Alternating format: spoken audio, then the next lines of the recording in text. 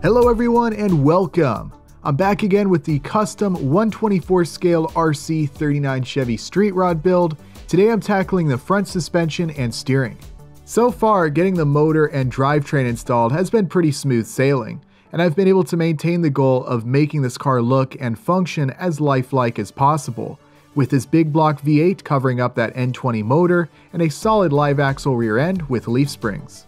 Of course, if you'd like to catch up on the work that's been done so far, I'll be sure to leave a link to the video playlist for this project below in the description. The front suspension may prove to be one of the more difficult steps in this custom build, but regardless, I was able to make it all fit and work perfectly. This car is now at the stage of being a rolling chassis, and it won't be long before this thing can start moving under its own power. Don't forget, I'll also be announcing the winner of the giveaway I talked about in the last video featuring this project, so be sure to stay tuned for that. But without further introductions, let's continue on with this build. For the front suspension, I am deviating a bit from the beam axle and leaf springs that would be present stock on a 39 Chevy. Instead, I'm using one of our FC01 front suspension and steering assemblies. It's a very simple independent front suspension using control arms. Swapping an independent front suspension is a pretty common upgrade for older hot rods. Designing a very simple beam axle like what you see here would be an awesome thing to do in the future. Obviously the beam axle is a very simple design, would be great for a bunch of hot rod builds, and trucks use a very similar design. Basically you would just scale it up a little bit. But staying within the confines I've given myself for this project, I only want to use STL files that are already available on Patreon. So that's why I'm going with this FC01 design. It shouldn't be too difficult to make work with this frame. This cross member here is designed to match the 57 millimeter width of the rear axle. And it looks like with a little bit of trimming on the frame and a little bit of trimming on this piece right here, it should be able to fit pretty good. Once I get the front suspension in place, I am going to need to find a spot for the steering servo. This cross member in here is definitely going to need to be removed.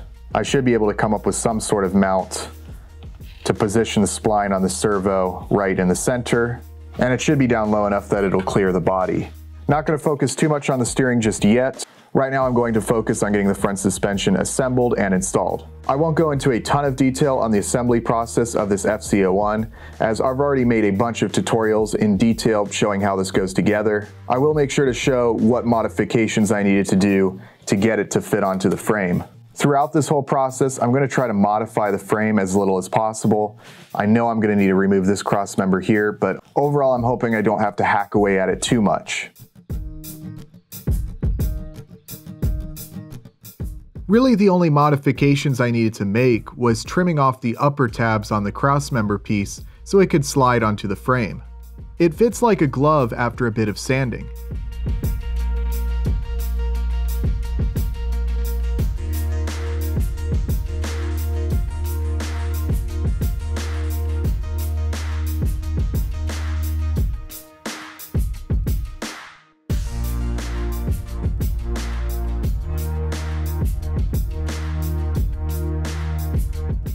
I'm currently putting together the steering knuckles. As you can see, the ball joints are comprised of a small steel rod and a little spherical bead with a hole through the center. You can buy packages with individually sized dowel pins. I know you can find these on eBay and there's probably a lot of other places you can get them as well. Just makes the assembly process a lot easier having everything pre-cut. These parts are tiny, but with some nice needle nose pliers, you can wedge everything together and use a bit of glue as well. These here are M1 by 4 dowel pins, and these are M1 by 6.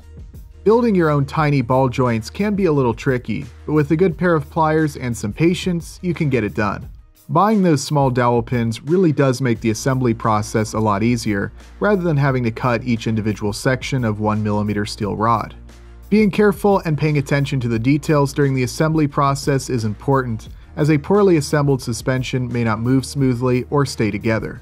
I used a bit of super glue to make sure that the metal dowel pin stays secured to the 3D printed parts and that the ball stays secured to the pin. Here's a look at the completed knuckles.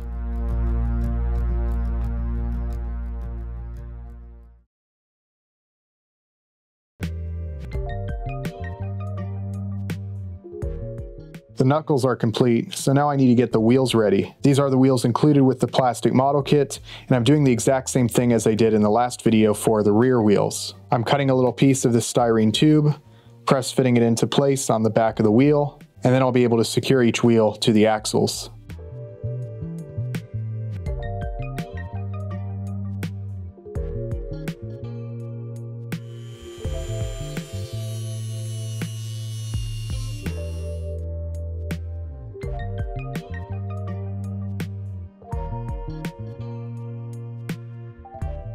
With each wheel secured to the axles and the knuckles, I press fit the control arms into place, making sure to use some grease to help them move smoothly.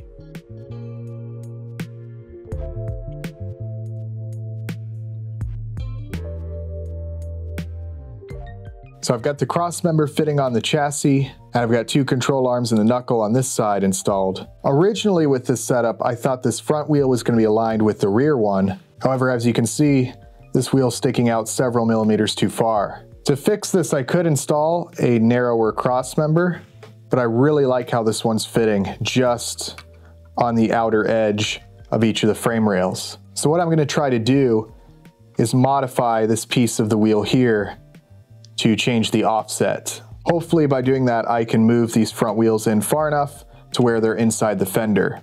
I'm gonna do a little experimenting and see what I can come up with. A little unforeseen challenge, which is to be expected with a custom RC build like this. Fortunately, the solution was pretty easy.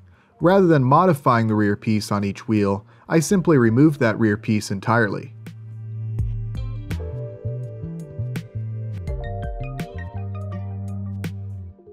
As you can see, I'm making some progress. I've got the wheels mounted to the knuckles. I had a little bit of a change of plans.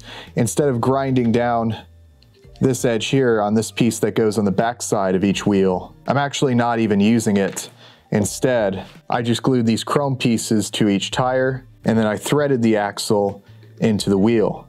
I used some M2 washers to fill the space between the knuckle and the back side of the wheel. I did use some glue to help hold the wheel onto the axle, and as you can see, they rotate smoothly, and the width is just about perfect for this car. If anything, they're a little too far in, but it'll work.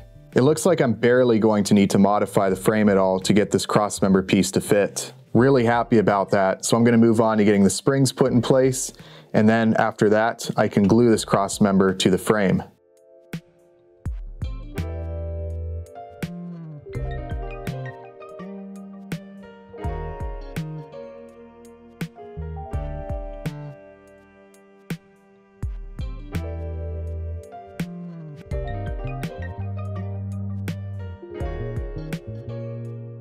I did just a bit of sanding on the frame to make sure everything fits well. Much like when I installed the rear axle, I did my best to make sure that the cross member was installed as perfectly square to the frame as possible, though admittedly I am just eyeballing it here, but I think I did pretty good.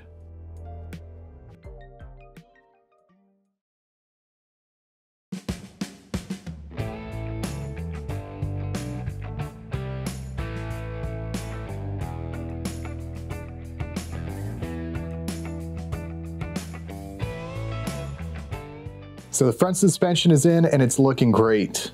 I love the scale appearance and there's no binding, no issues, just about perfect.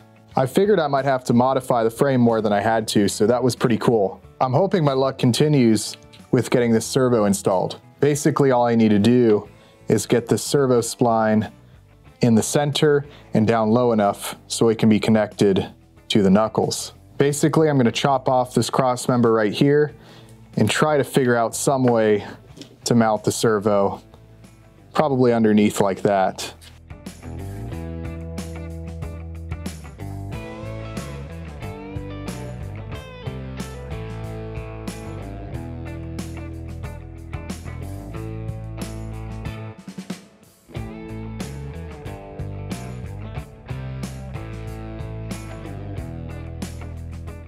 I've pretty much figured out a way to get the steering servo to fit and be positioned where I want it. The only modification I really had to make on the frame was just chopping that cross member to be wide enough so the servo will fit right in between.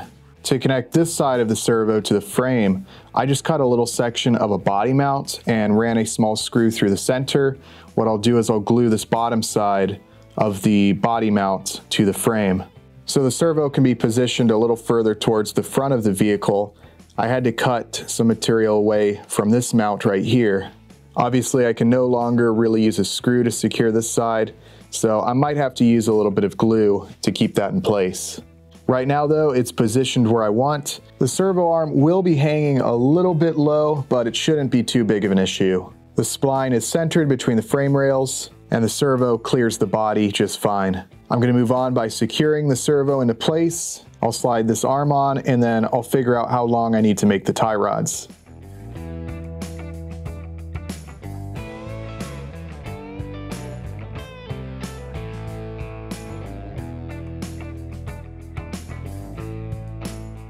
When you're 3D printing tiny parts such as these tie rod ends, I highly recommend using a small size nozzle such as the 0.25 size that I used. All the parts for the FC01 can be FDM 3D printed.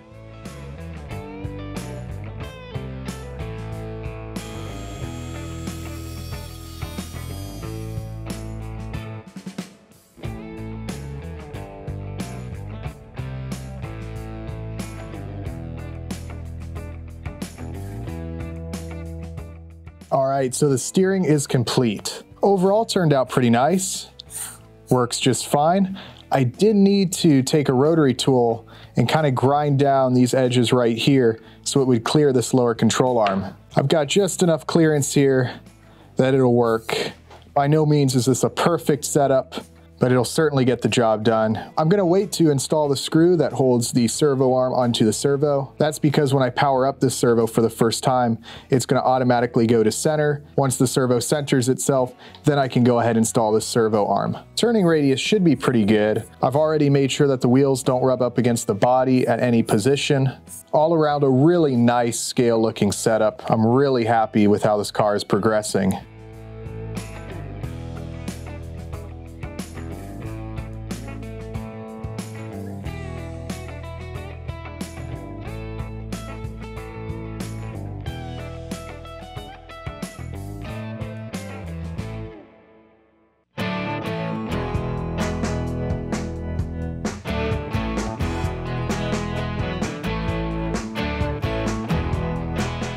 Getting the steering and front suspension put together actually ended up being easier than I thought it might be. Didn't really need to modify the frame a whole lot.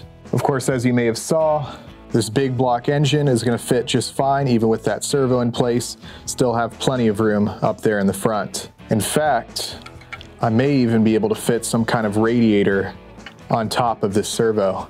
The chassis is basically ready to go at this point. The only thing left to add is the electronics.